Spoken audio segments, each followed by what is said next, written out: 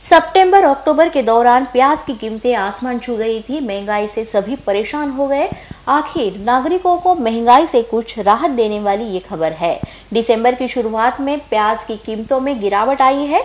APMC थोक बाज़ार में प्याज की आवक काफ़ी होने से कीमतों में बड़ी गिरावट आई है।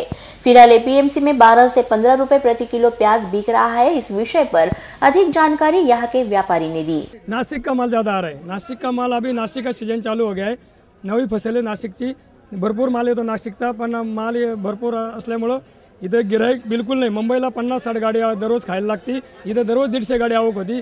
एक्सपोर्ट चालू नसल्यामुळे हे माल सगळे पडू नये एक्सपोर्टवाला नहीं आ रहा है. इधर तो माल ऐसा पड़े रहेगा. माल बिकेगा नहीं माल बाहर नहीं जाएगा। जब तक माल बाहर जाएगा नहीं तब तक खेती वाले एक रुपये भी नहीं मिलेगा इधर। शेतकऱ्यांची इतकी निराशा झाली। विदर्भात मराठवाड्यात जशा आत्महत्या होत्यात तशा पश्चिम महाराष्ट्रात आत्महत्या व्हायला वेळ लागणार नाही याची शासनाने पहिली दखल घेतली पाहिजे. नंतरच नाहीतर आम्ही नाशिक मालेगाव धुळे नगर या जिल्ह्यातून येणारा कांदा आम्ही रस्त्यावर टाकू आणि सरकारचा निषेध करू.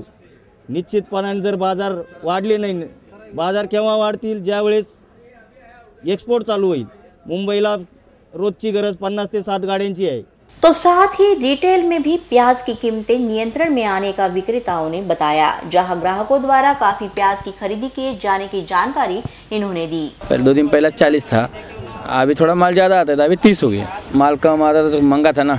अभी गिराइक थोड़ा कम मांगते हैं अभी थोड़ा बहुत तो कम हो जाएगा थोड़ा धीरे धीरे होलसेल में कांदे का भाव है कम से कम अढ़ाई सौ रुपये तक अच्छा वाला कांदा।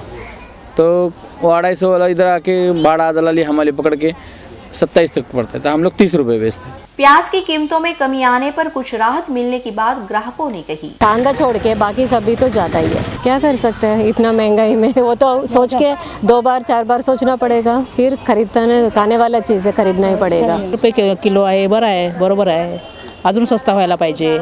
सगळ्या भाजीमध्ये लागतात कालवरमध्ये लागतं सगळ्यामध्ये कांदा लागतो. कांदा कमी झालेला बरं आहे सामान्य लोकांना त्याचा फायदा आहे. आणि शेतकऱ्यांचा पण विचार केला पाहिजे. शेतकऱ्यांना पण महाग दिला पाहिजे ना? त्यांचं पण पाहिजे ना? आणि आम्हाला पण दिला पाहिजे स्वस्त. स्वस्त तर व्हायला झालंच पाहिजे. व्हिडिओ जर्नलिस्ट मुसा के साथ पंकज बेनवंशी की रिपोर्ट.